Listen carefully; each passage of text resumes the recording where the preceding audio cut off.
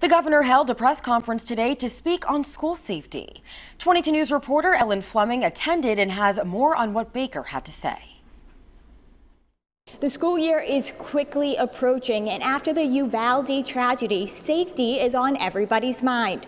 Today, the administration rolled out their plan to help keep kids safe in schools.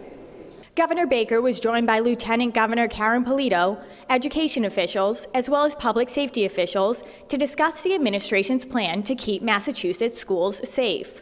The mental health of students was top of mind today as students are still struggling with the effects of COVID 19 shutdowns.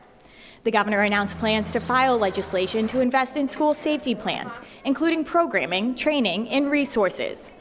To date, the administration has awarded $15 million in grant funding for security infrastructure and mental health support. The administration will also file a supplemental budget request of nearly $40 million to support these safety initiatives. And no child should fear going to school in the morning or feel uncertainty over how safe their building or their classroom is. The initiatives we're announcing today will certainly help support that mission. Public safety officials stressed their extensive training, and when asked about their strategy during an active shooter situation, they responded that they would immediately enter a building under an attack.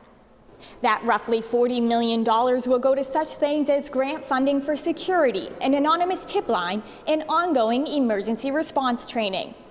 Working for you at the State House in Boston, Ellen Fleming, 22 News.